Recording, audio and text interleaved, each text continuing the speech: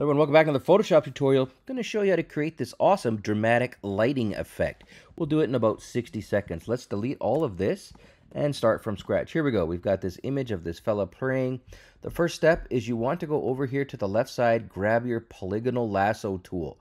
We're going to go ahead and draw where we want the light source to be. So I see it sort of like this. Again, you guys might see it differently. I want it to go kind of right through the middle of his face and down like this and then maybe yeah maybe out to here i kind of want it touching the uh, tips of his fingertips. It's not quite there but we're going to feather it in post product in post so hang on. Okay good we've got that added in now. Drop down here grab the levels. We're going to create a levels adjustment layer here we go. And presto pull these tabs on the right in the furthest one right in a little to the left.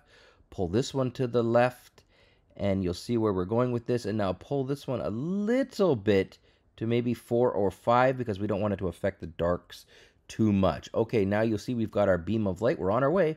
The last step here you want to do is you want to go over to this mask button here. Click on this and now pull the feather quite a bit up. We don't want a really hard light. We kind of generally want a soft and more diffuse light. So maybe something like, yeah, let's go with like 90 pixels, something like nine. Okay, close to 90 pixels. Turn it off turn it on. Remember, if this isn't quite right, grab your move tool, and then you can just go ahead and make sure you're on the top level. You can go ahead and layer, part of me, you can make it a little bigger, you can adjust the angle, whatever you need to make it work. That's all there is to it, guys. Thanks for watching.